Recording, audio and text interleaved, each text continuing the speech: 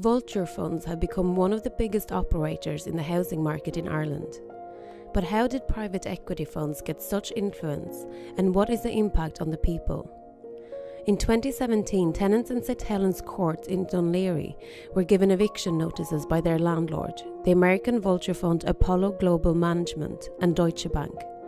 They claimed that they were refurbishing the apartments, but the tenants knew this was a move to try and increase rents, and they subsequently won their case in the RTB.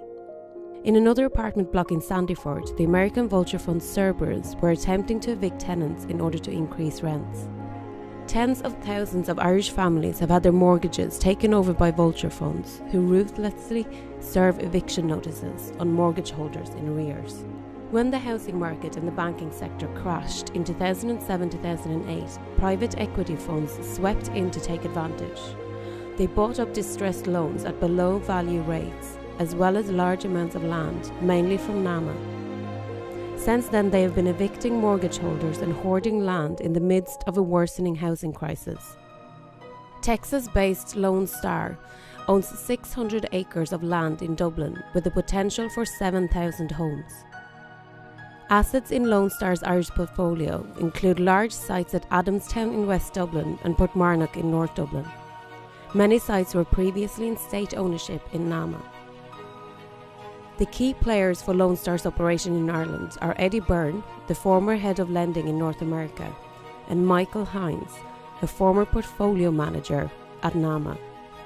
Lone Star was founded by billionaire John Grayken, who has Irish citizenship.